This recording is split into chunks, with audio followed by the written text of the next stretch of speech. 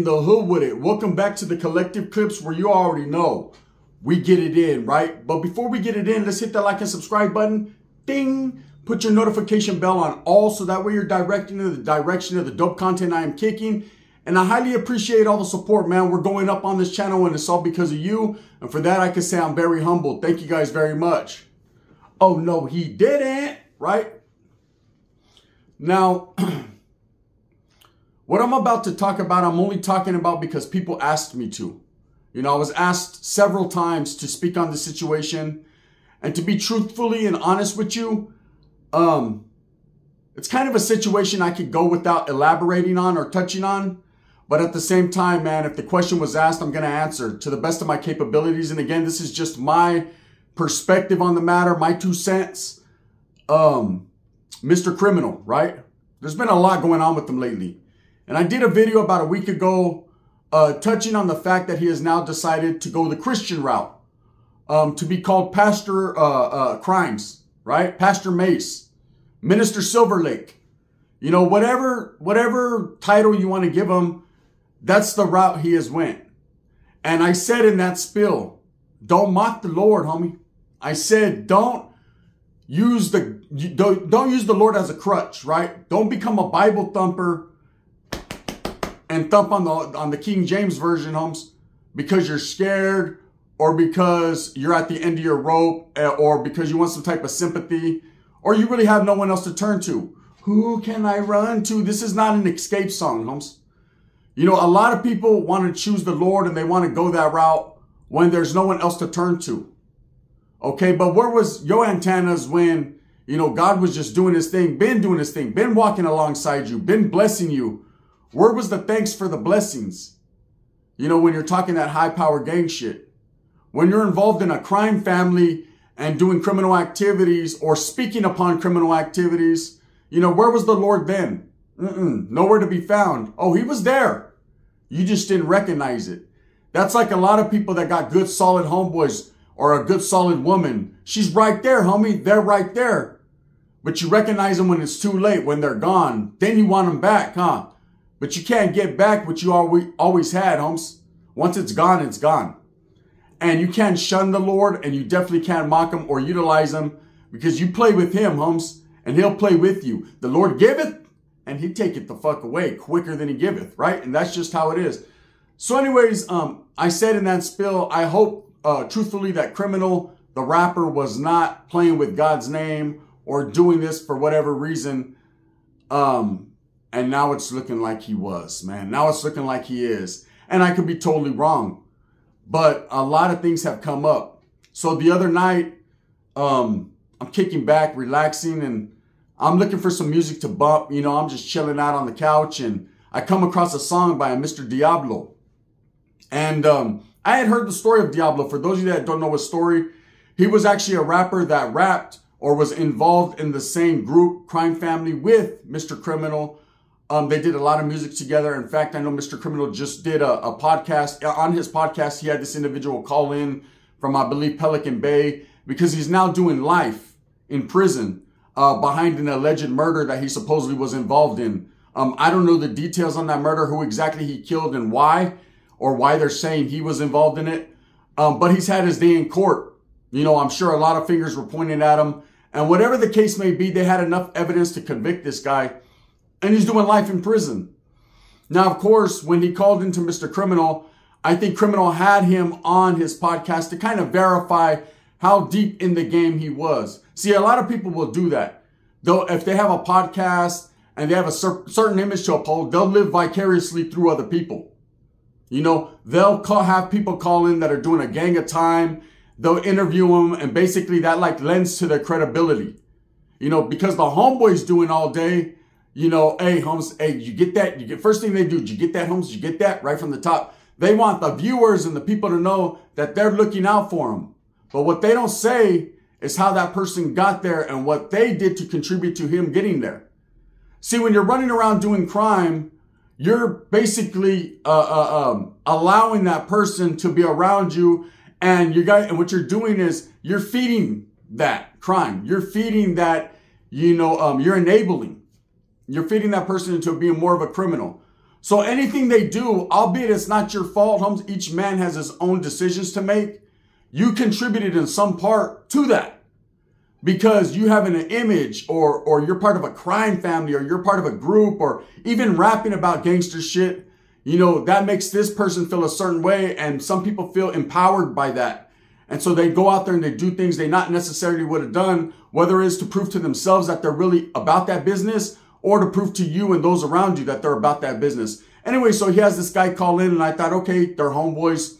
You know, they, they rap together. Um, they got a long history together. So he's just interviewing his homeboy again. It's going to lead to his credibility. People are going to be like, damn, Mr. Criminal's a real one, bro. He really knows people doing life. And he really has homeboys that are about the business that are in there for murking people. And, oh, okay, yeah, he's a real one. Is he? Because the other night I'm listening and a rap diss song comes out. And this is the season of the diss song. This is the season of the sickness, like Brotha Lynch said, right? Lately, every rapper in the industry is going at it. You got Chris Brown boning everything uh, Quavo touches. You got Rick Ross fucking, hey, get in your cell. You know, he's trying to lock Drake up. You got Drake and Kendrick Lamar going at it. You got Future just fucking, you know, getting getting money, getting paid. You got all these different rappers going at it and disrespecting each other. It's the season of the diss, right? Mexicans usually don't involve themselves in dissing, or that's not the way it used to be. That banging on wax shit um, was for the birds, not the huelga, right? Now, there has been plenty of northern and southern songs that have not necessarily diss. I guess you could, that's a, a short word for disrespect. Um, but they've spoken upon the adversary. And usually that leads into some real street shit. Okay? They don't just bang on wax like that. Usually things that they talk about, they've either already done previously or they're about to do. You know, when you disrespect the other side and you bang on wax homes, you know, in, in the Mexican gang culture, that's considered poop butt shit. That's considered, hey, Holmes, that guy's all robber. All he's doing is talking about it. But there are those that will speak upon things and will actually carry out what they're talking about. So this guy Diablo does a diss song and he exposes Mr. Criminal for being a rata. He exposes Mr. Criminal for uh, making some statements against him. Now, whether that's true or not, um, when you say those words, and, and, and I have to kind of wiggle myself around this because this is a very serious accusation. This is very serious. You know, when you call a person a rat, um, say they spoke on you, when you call a person a chomo, um, you know, a, a weirdo, anything like that, it's very serious. It can have people hurt. Um, I know, I know personally how it is, right? Um, it's just not something to be taken lightly. And when you say that, you know, it could definitely fucking damage your credibility if you don't have no the correct paperwork, or if you definitely don't have um, some substance behind it. Now, this guy knows Mr. Criminal better than I do, better than a lot of us do. He knows him in real life. These were camaradas. These were homeboys. They rocked together for a long time. They made music together. He chilled on Mr. Criminal's couch, loading up the drum, like he says in the song.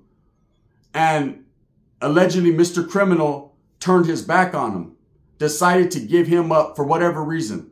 This is what he's saying in this song. Now, people have been hearing whispers about uh, Mr. Criminal um, ever since Cuete got on his head.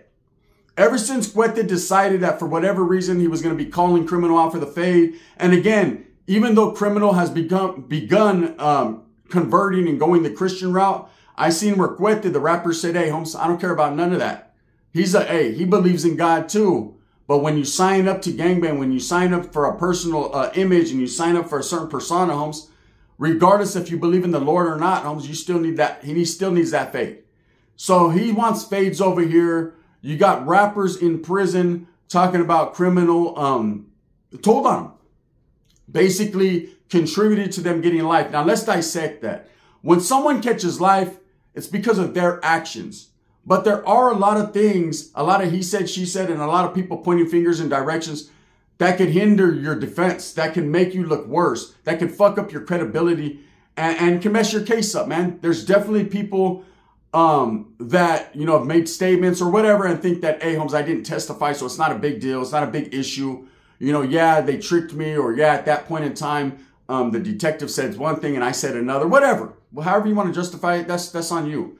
And again, I'm not here to judge anyone or point any fingers or disrespect anyone in that capacity. Because again, without paperwork, man, it truly is not. And even with paperwork nowadays, paperwork um, is not like it used to be. Paperwork can be created by AI. Paperwork can be uh, um, manipulated by people that are good on computers. I mean, there's no way to truly know anymore.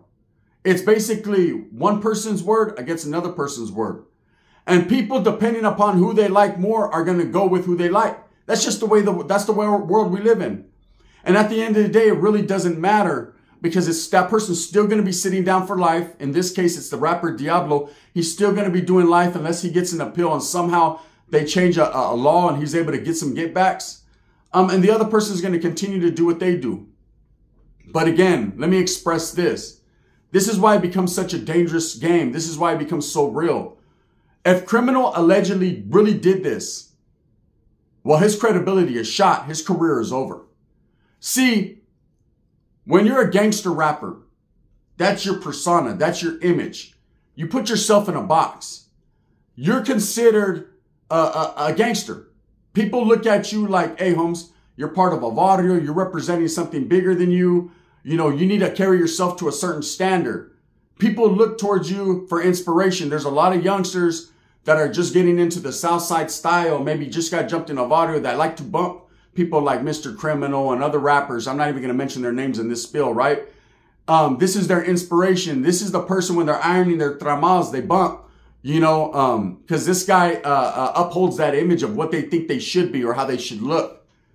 And then when something like this comes out, it's a big letdown, you know, and then people start to feel a certain way. When you're out there bumping baking soda breath, you know, online and talking about how much cars you have, how bad you are, how much dirt you did, what your credibility is, the people you know, um, then you better stand firm in that, and there better not be uh, no monkey wrench thrown in your unicycle, homes. There, but there better not be no dirt. And believe me, everybody has something. And in social media, everything shall come. All the cream will rise to the top, brother. Can I have a shot of coffee? Right? Everything's going to come to the top. You can't hide your past from social media. There's going to be somebody that digs something up on you because they don't like you for whatever reason. They don't believe you. They believe you're fronting. Now with Mr. Criminal, it's all over the place. There's a lot of people that believes he's fronting. You know, up into the point of people saying nothing. And, and best believe that this just didn't start. I heard about this a month ago. You know, these whispers were already out there. I heard from somebody, hey, Holmes, just sit back and enjoy the ride. There's going to be uh, something dropping on Mr. Criminal that's going to rain on his parade. It's going to shut down his shop. Because of the group he was representing as a whole, because of his Southsider mannerisms and style, you know, this is something you cannot come back from. You can't be putting your homeboys away for life or being any part of that, homes, and expect to still carry on in your career, still be a gangster rapper, and still be believed or be believable. No one's going to believe that. Now, this is why you don't get into social media beefs with other people because they're going to start digging. They're going to start looking into your past. Now, what boggles my mind and what trips me out is there's a lot that goes on behind the scenes, especially in Southern California, Northern California as well. Um, but you don't really see too many Northern California rappers beefing with each other. If you notice that, um, they try to keep their stuff in house and behind the scenes. And I'm sure if there's any discrepancies in any beef, um, they know how to handle it um, through their chain of command. You know, because if you're and, and I said it a long time ago, when you're living that lifestyle, if you're a gang member or consider yourself a gang member, and that's the image you're putting out there for the people to see, but you're also a rapper and trying to have a rap career, you're putting yourself in a box. First and foremost, you know, you're not going to be uh, uh, doing shows at the MGM Grand or doing shows, you know what I'm saying, in, in New York City, homes. You're going to be doing shows at the local car wash or fucking the local fairgrounds, homes. Like I said, you're going to be performing right after Los Lobos and Los Lonely Boys. That's just how it is. You know, you're going to be the fucking opening act for Paul Rodriguez at the fucking Mohegan Casino. That's how that goes. Right now, um, if you want to be doing big things, then you have to be open for all people. And a lot of people, they're not into that gangster image. There's a lot of the West Coast gang related uh, rappers that people from the East Coast, New York, uh, uh, Pittsburgh, Boston, whatever, they don't give a fuck about. They don't care, man. They don't know anything about the politics, anything about the West Coast gangs, and they could care less, right? If you're a good rapper, you're a good rapper. But you kind of put them off, homes, when you're hollering all this shit that they can't identify with and they don't know about. And so your fucking fan base is right there. When you fuck off that fan base, when your credibility is shot and you're no good anymore to that fan base, well, then you have nothing. Your career's over. Everything you strived for and worked hard for is gone because the street politics and the street game has now leaked over into your rap career. So with Mr. Criminal, this is definitely going to hinder and damage his career. Very, very much so. And it's now dangerous. It's very dangerous for him. Because if you're being accused of being a rat and telling on someone that got life in prison, if this man is making a diss song and putting it out there, for whatever reason he decided to keep it hush hush for a long time, to keep it on the unders. I mean, you know, I'm sure this guy already knew what time it was when he went on Mr. Criminal's podcast and stamped his Gism, right? When he stamped his, verified that, you know, Mr. Criminal was his boy and everything. For whatever reason he had, he kept that fucking ace in the hole. He didn't say anything. But now, since there's been beef between Mr. Criminal and other podcasters and other rappers, it's now came to the light. And like I said, I was told a month ago, man, that this was going to come to the light. That there's paperwork floating around on Mr. Criminal. Whether it's true or not, I don't know. But I was told by, you know, someone that is really in the game, like, hey, bro, just sit back, get your popcorn and enjoy it. But I don't enjoy that. I'm not about tearing people down and seeing people hurt, seeing people's whole, everything they've strived for and worked hard for go down the drain. But if you make your bed, you will lie in it. You know, you can't be here licking your fucking lips like an LA J video and talking about having all these lowriders and wearing all this fake jewelry and, and having your old lady show her tetas and do all this and basically slap people in the face and talk about how hard you are and how cool you are. And then this come out on you because this right here will make you turn towards the Lord. Now, it's a very convenient move. And I think criminal knew that this was coming. I think he knew that these guys were going to put something out there on him because he looks very guilty. You know, his stilo done switched up all of a sudden. There's going to be a lot of people that defend him and say, hey, Holmes, you know, hey, it's a good thing he's going to the Lord's. And you're absolutely right. It is. It's always a great thing when a person finds their higher power and they're able to fucking let it be known. That's always a great thing. But not when you're using it as a crutch to get away and run from, from something that fucking you done. Something you signed up for. Now, whether paperwork comes out or not, we'll see. Again, everyone's sitting back with popcorn waiting. Everyone loves drama. They want to see someone fail. I don't see want to see this man fail I want to see this man survive. And I think at this point, if he really did that, if he really told um, on Mr. Diablo, if he really was involved in that case, his best bet is to pack up, close down shop, sell those lowriders, and get the fuck on. Because there's serious business behind serious business, if you understand what I'm saying. You know, there's no way he's going to be able to go perform or push his crime family or even push his, pa- his Pastor Silver Lake shit onto anyone. It's unbelievable. No one's going to believe it. Now his name is forever tainted. Now only people believe is that you got that man life in prison, that that man um, said it out of his own mouth. Why he went on your podcast and chose to, um, again, man, there's a lot of things behind the scenes that real ones understand and know. Um, sometimes you have to close your mouth because certain people got at certain people and certain things are, certain money's being exchanged. It just is the way it is. I don't want to elaborate too much. Um, those that know what it is know what it is, right? Now, is it a dangerous situation for criminal? It, it definitely is, man. If you know, you know, especially in Southern California, movements happen behind the scenes differently there. And it's, it's dangerous. It was, can I get you, Mr. Criminal? Right? What Mr. Criminal needs right now is guidance. And I'm about to give him some knowledge he can't get in college. Run, homie. Pack up shop and run. Get out of there. Go with Swifty Blue to fucking Arizona or something. Get the fuck up out of here because right now, there's a lot of people that are disgruntled with this man. There's a lot of people that he was showing off to. I remember when he first did a video and he mentioned my name. And up until that point, the only time I had ever mentioned Mr. Criminal's name was to shed a good light on or to say his music was decent. Um, or to say people would ask me, hey, you know who he is? Oh, yeah, I see his podcast. Yeah, go peep it out, man. You know, it's another dude, uh, Raza, you know, making moves. Go trip out on it um, because I respect everybody and their get down and I don't knock anyone's hustle. And, you know, he's, I don't support DOs and fuck DOs and this, this and that and Gunners Collective. And he's saying this and saying that. And basically he got played out of pocket by a troll that, uh, cloned my channel, was acting like me and, and, and got that dude to fall susceptible to the bullshit. Got, he got played, right? I mean, I never said, said nothing bad about him. So I made a video, um, a direct message, letting them know exactly how I feel and how, you know, sometimes you can get played out of pocket by another man. But that's what happens when you're easily influenced by strange men. No did. So, you know, with uh, Mr. Criminal, man, I wish him the best. And will it get tricky for him? Absolutely it will. You know, if this is the truth, and believe it or not, man, this is just coming from from my perspective on it. You know, the way he's acting, the way he's conducting himself, the way he has now found the Lord, and he's trying to get away from the gangster and the politics and, and things of that nature. That leads me to believe two things. Whoever he was functioning under or functioning with has decided to say, hey, Holmes, you're on your own now. Um, we were unaware of this situation.